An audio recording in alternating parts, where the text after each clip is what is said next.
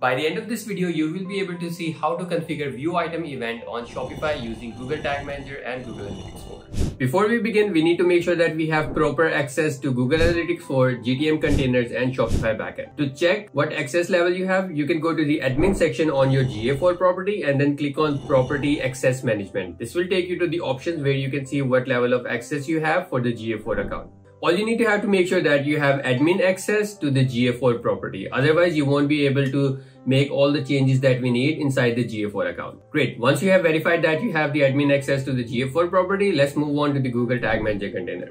On the GTM container, you can go to the admin section of the container that you have and on the right side you will be able to see the account user permissions. However all we need is the user management on the left side under container options. Here you need to make sure that you have publish access to the container. So all the changes that we can make are live on the website. And since the customer pixel do not allow the debugging view we need to publish all of the changes one by one. And lastly you need to make sure that you have proper access to the customer pixels.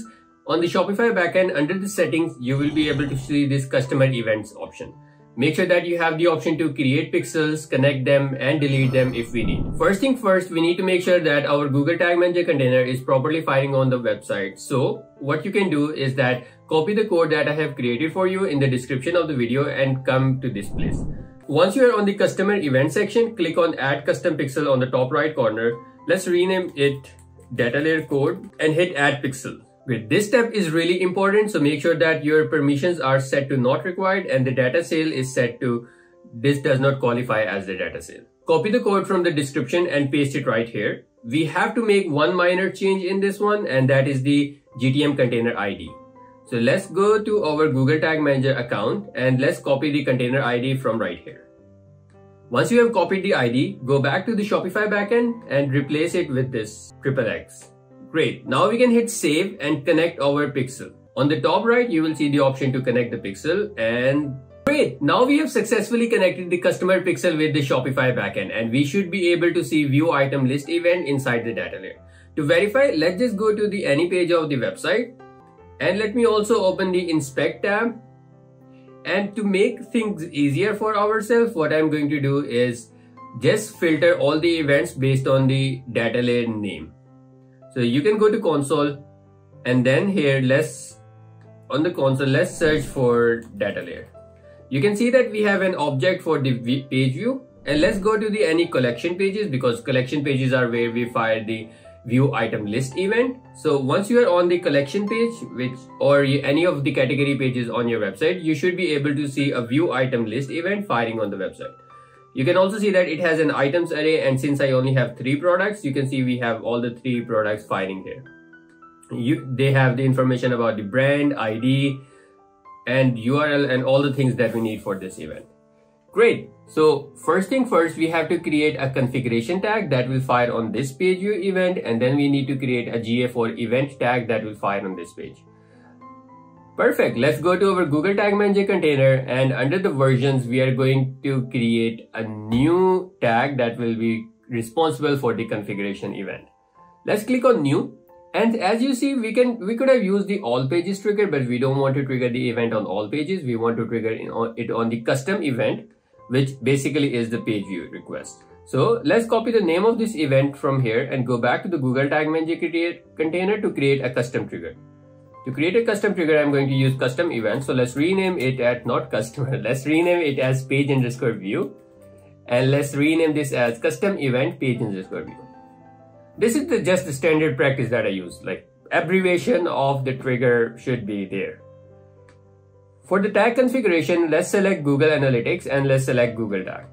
For the measurement ID, you can go back to the Google Analytics property, you can search for the ID right here or you can just search for it on the top bar. Let's do it here. Since we have the search feature, we should utilize it. Let's copy the measurement ID, go back to the Google Tag Manager container. And you know, I love constant variables, so we are going to create a constant variable for this ID. Great. So let's rename this as GA4 measurement ID and hit save. Great. Let's rename this tag as GA4 configuration tag and hit save. Perfect. This should automatically add the GA4 configuration tag. However, as I mentioned in the introduction of the video that we cannot use the preview window, so we have to submit the changes so we can actually see them inside the Google Analytics and on the website. So let's go back to the website and hit refresh on the page. Once you hit refresh on the page, you should be able to see that using this Google Lag Taxi Assistant Chrome extension that the Google Tag Manager container is firing on the website and the GA4 tag has also fired on the website. You can also verify the same information by going to the network tab and you can see that there is a collect request that was sent for scroll which is an automatic event and there is another request which was sent for page view. You can also verify the same information using the Adswerve data layer and you can see that this page view request was sent to the GA4 account. Great, so the page view event is working fine. Now we have to create a view item list event. For the view item list event, the name of the event is view items list. So let's copy this event name, go back to the Google Tag Manager container and let's create a trigger first. To, to, to create the trigger, let's go to the trigger section, click on new, select a custom event and rename this as custom event view item underscore list. We have to do the same thing for variables because we need variables for value, we need variables for currency and the items array. If you go back to the website, you see that we have all of that information inside the e-commerce object. We have e-commerce.currency, e-commerce.items, and e-commerce.value. So let's go back to the Google Tag Manager container and create all of these three data layer variables. For the first data layer variable, let's do e-commerce.currency. And let's rename this as dlv e-commerce.currency. And now we have to do the same thing for e-commerce.value. So let's rename this as dlv e-commerce.value. And lastly, we have to do the same thing for e-commerce.items. Great, we have successfully created all the variables, all the triggers that we need. The last thing left is creating the tag for the view item list event. So let's go to the tag section and create a new tag.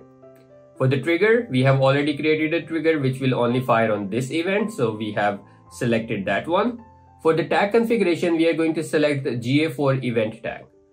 Measurement ID, we created a constant variable for that when we were creating the configuration tag. So let's select that measurement ID. The event name is view item list. And we do want to send some parameters. We want to send value. We want to send currency and lastly, we want to send the items array. The value is going to be inside e-commerce.value, currency is inside e-commerce.currency, and lastly, items array is inside e-commerce.items. Perfect. Let's rename this tag to GA4 EEC view underscore item underscore list event. EEC just stands for enhanced e-commerce. So let's hit save. Unfortunately, again, we won't be able to test it using the preview window, so we have to publish the changes. So let's publish the changes. You can rename it whatever you want, but let's just publish the changes. And on our website, let's do a hard refresh so the new Google Tag Manager container with the updated code snippet fires on here.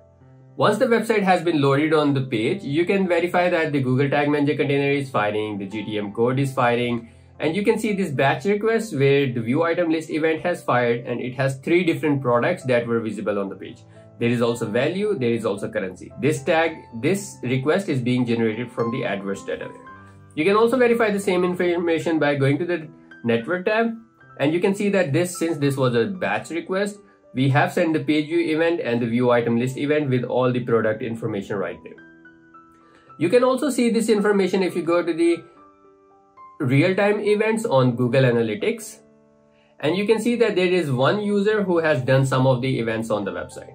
If you click on real-time view, you should be able to see the information about the recent event coming in on the event section. And you can see that the view item list event has successfully fired on the page. And you can see that it had a currency option and the value option.